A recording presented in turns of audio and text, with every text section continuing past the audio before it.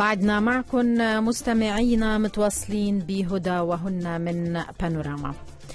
رح نتوقف مع التقرحات السريرية وكيف يمكن تفادي الإصابة فيها. خليني رحب بضيفنا الأستاذ سعد فهد المعيلي أخصائي رعاية الجروح. أه صحيح أستاذ سعد؟ يا أهلا وسهلا فيك. أهلا أهلا وسهلا. خلينا بداية أه نعرف شو هي التقرحات أه السريرية. آه طيب بسم الله الرحمن الرحيم. التقرحات السريرية هي عبارة عن خلل في الأنسجة الداخلية للجسم بسبب آه ضغط العظام على المفارش أو المطارح السريرية. نعم. آه تؤدي لنقص تروية في الأوردة والشرايين والشعب نعم. الداخلية وينتج عنها تلف في الأنسجة الداخلية أو العظام. نعم. يعني أسبابها بتكون آه شو بالتحديد؟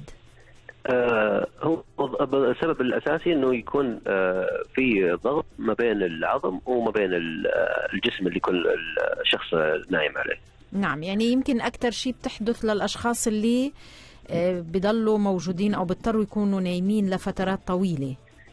أيوه بالضبط بس الانسان الطبيعي يكون يعني عنده الإحساس إنه يغير موضعه لكن في بعض الأشخاص يكون عندهم آه، عدم قدرة على الإحساس أو يكون مثلا شخص مغمى عليه أو لا سمح الله عنده شلل نصفي فما يقدر يحس بالموضع فيحتاج أيوه لو استمر الضغط على هذا المكان يصير في عنده تقرحات. نعم. كيف بيقدر الواحد إنه يتفادى هذا الموضوع؟ هو بالنسبة لنا طريقة الوقاية الأمثل اللي هو ب... إذا كان في عندنا شخص فاقد الإحساس ان نصير نلاحظ الجلد بشكل مستمر نعم. نراقب اي أول ما يطلع فيه احمرار بسيط على منطقة معينة في الجسم تكون منطقة عظمية نعم. آه نبدأ نغير الموضع ونفضل يكون باستمرار تقلب المرضى مثلا يكون على الفراش اللي على عدم القدره على الحركة كل ساعتين. نعم. كل ساعتين يكون على جهة. أكثر المناطق اللي بالجسم معرضة للإصابة بالتقرحات السريرية شو هي؟ آه لأن في عندنا آه مواضع مختلفة للنوم فلما يكون المريض نايم على ظهره في عندنا منطقة أسفل الرأس وفي عندنا الأكتاف في عندنا منطقة الأرداف وفي أسفل الظهر اللي هو منطقة العصعص وفي عندنا برضو الكعبين أسفل القدم نعم لو كان المريض على أحد الجهتين اليمين أو اليسار في برضه عندنا طبقة الأذن ممكن تكون معرضة للتقرحات في عندنا برضه الأكتاف في المرافق وأسفل القدم برضه نعم آه طيب عادة الشخص لما ينصاب بهذا الموضوع شو بتكون الحلول المتاحة؟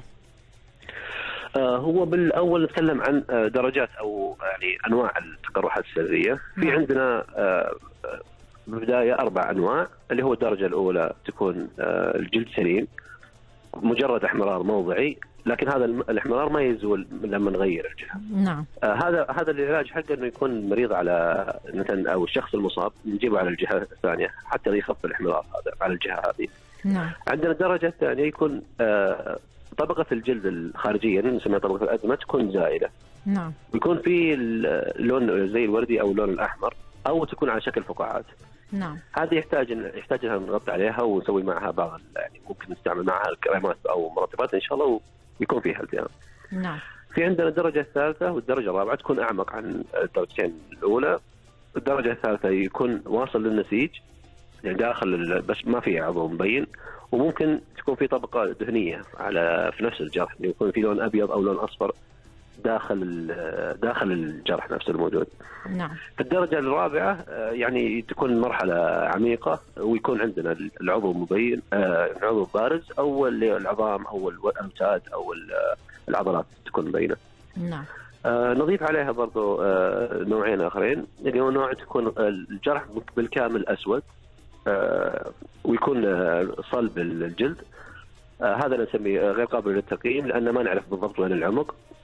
وفي نفس الشيء يكون بس الجلد يكون لين وتكون اللون آه يعني يكون إلى البنفسجي أو إلى الأحمر الغامق لكنها نعم. تكون في أعمق. نعم. في نصائح معينة ممكن نختتم فيها حلقتنا؟ آه ممكن تساعد أو بتحفز آه التئام الجروح بسرعة أو الإصابات؟ طيب أنا قبل نتكلم عن الالتئام الجروح نتكلم عن اللي كيف نسوي وقاية من الجروح زي ما قلنا قبل نهتم بتقليب المريض في كل جهة نحرص على إن الجلد يكون آآ آآ رطب بدرجه يعني بدرجه بسيطة ما نبغى الجلد يكون ناشف ولا نبغى يكون رطب زيادة. نعم آه، ممكن نستعمل ال- المراتب الهوائية أو الوسادات حتى لما نغير الجهم يكون في نخفف الضغط على المناطق العظمية. نعم وبرضه أحد أهم الأشياء برضه بعد ما تكون في جروح اللي هو نهتم بنظافتها يكون في شخص آه، مختص يراقب معنا آه، كيف الجروح هل هي ملتهبة إذا كان المنطقة فيها حرارة أو نوع الإفرازات إذا كان في روائح كريهه نعم. الله يعزكم طالع من الجرح برضه هذه لازم نعرضها على طبيب آه، وال- وال- والتغذية نهتم بالتغذية ياخذ كمية كافية من البروتينات لأن على أساس الجسم يحتاج يبني مرة ثانية أنسجة جديدة. نعم شكرا جزيلا لك أستاذ سعد فهد المعيلي أخصائي رعاية بالجروح. يعطيك العافية. شكرا. الله يعافيك. يا رب. بالتوفيق. إذا مستمعينا موعدنا بيتجدد يوم الأحد القادم. إلى اللقاء.